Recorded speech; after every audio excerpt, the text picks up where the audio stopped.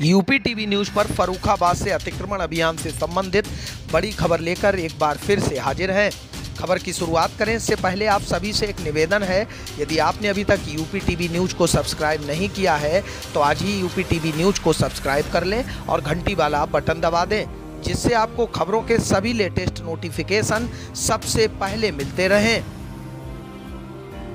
अब देर न करते हुए खबर की शुरुआत करते हैं। खबर फरूखाबाद के फतेहगढ़ से है, जहाँ शनिवार को फतेहगढ़ में जेएनबी रोड पर अतिक्रमण अभियान चलाया गया। चार घंटे में ही पूरी जेएनबी रोड का अतिक्रमण साफ़ कर दिया गया।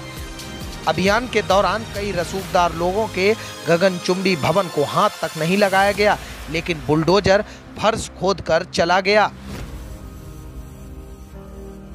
नगर मजिस्ट्रेट दीपाली भार्गव ने नेतृत्व में अतिक्रमण अभियान जेएनबी रोड पर चला है। अधिकतर लोगों ने, जिनकी कोई जुगाड़ नहीं थी, उन्होंने अपना भवन खुद ही तोड़ लिया। जो बच गया था, उसे बुलडोजर ने नहीं बख्शा। बुलडोजर भी चेहरे पहचान कर चला। निरीक्षण भवन से लेकर रखा तिराहे तक का अतिक्रमण हटाया गया।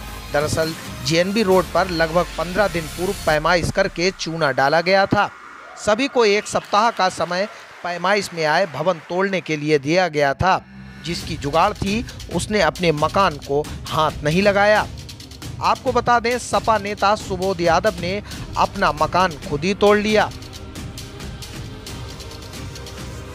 जेएनबी रोड पर एक सेवानिवृत्त प्रशासनिक अधिकारी का आवास गगनचुंबी बना है। जिसके सामने कई लोक निर्माण विभाग के कर्मचारी सुरक्षा कवच बनकर खड़े हो गए। नगर मजिस्ट्रेट जब उधर से गुजरी और पैमाइश कराई तो फीता उनके गगनचुंबी भवन में प्रवेश कर गया। वह जिला प्रशासन से सेवा निवृत्त हैं तो उन्हें दोबारा समय देना अनिवार्य था, जिसके चलते उन्हें खुद ही अपना मकान तोड़ लेने की अनुमति दी गई। इसके अलावा और भी कई अन्य भवन छोड़ दिए गए।